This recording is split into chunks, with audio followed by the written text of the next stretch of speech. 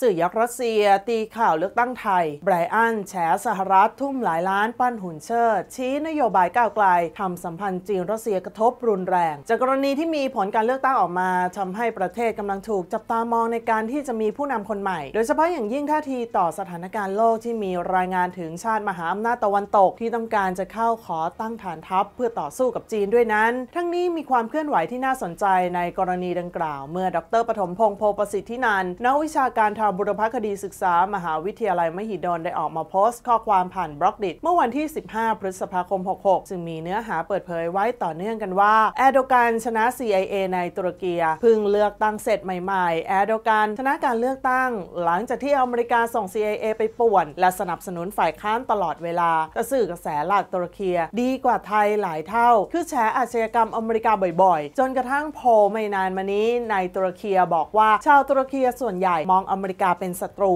เมื่อสื่อกระแสหลักเอาด้วย ประชาชนตุรกีก็รู้จักอเมริกาดี และหันมาสนับสนุนแอโดกันต่างจากผู้นำตุรกีสองลุงในเมืองไทยออนหัดในเรื่องสงครามพันทาง ขณะที่ฝ่ายค้านมีสื่อกระแสหลักและมีทีวีนานาชาติ ซึ่งปั่นกระแสช่วยตลอดเวลาแต่สองลุงก็มีแค่ Top News เท่านั้น แถมเป็นสื่อทางเลือก ยังมีคนติดตามน้อยอีกต่างหาก ได้คะแนนมาเท่านี้ก็ถือว่าดีถมเถแล้ว ถ้าอยู่แบบนี้บริหารแบบนี้ต่อไปอีกหลายปีคะแนนอาจจะหมดแน่ครับ ล่าสุดวันนี้ 16 พฤษภาคม 66 ดรปฐมพงษ์ยังโพสต์ข้อความถึงเหตุการณ์ในตุรกี โดยเชื่อมโยงมาถึงสถานการณ์การเมืองในประเทศไทยด้วยว่าผลสำรวจประชาชนตุรกี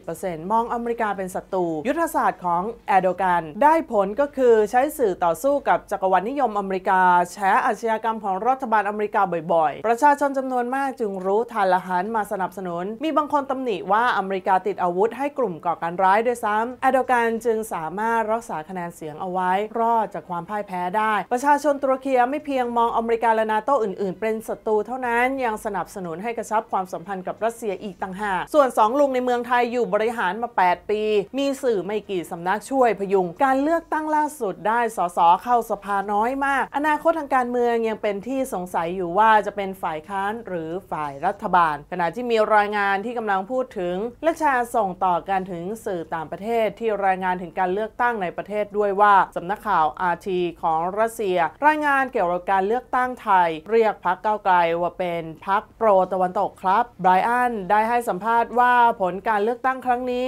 เป็นผลลัพธ์ของความพยายามของอเมริกาที่ได้ทุ่มเทเงินหลายล้านเหรียญมาเป็นเวลาหลายปี เพื่อให้ได้พักการเมืองที่เป็นหุ่นเชิดของตัวเองขึ้นมามีอำนาจครับไบรอันมองว่าหากพักเก้าไกลยังเดินตามนโยบายต่างประเทศในทางที่เคยแสดงท่าทีไว้ ความสัมพันธ์ระหว่างไทยกับกับจีนและไทยกับรัสเซียจะถูกกระทบอย่างรุนแรงครับ